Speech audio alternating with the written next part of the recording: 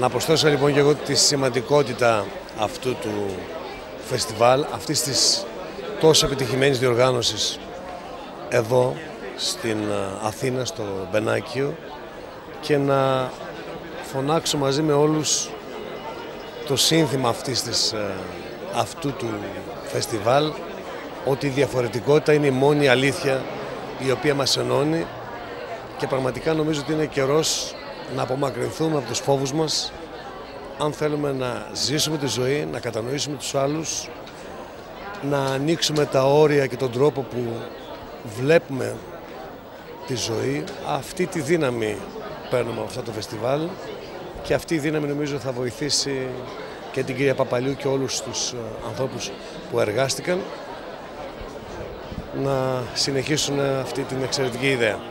For the festival, uh, I think the thing I think is most important about this festival is that it, it, in making these films and, and, trying to keep the communication between people that that um, exist within the disabled community and those that that live outside of it, encouraging them again and again and again to understand that we're part of the same world.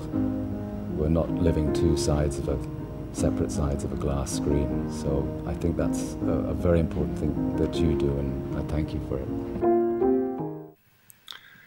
Hey, Maria. My greetings fly through the ether from my desk in Berlin to your beautiful festival in Athens, Emotion Pictures. I'm very moved that your festival is not just about movies, but about something as sincere and important as disability in the widest sense of the word. I salute you all, and I wish all the participants of Emotion Pictures my very best. Wish I could be there with you. Take good care. Click.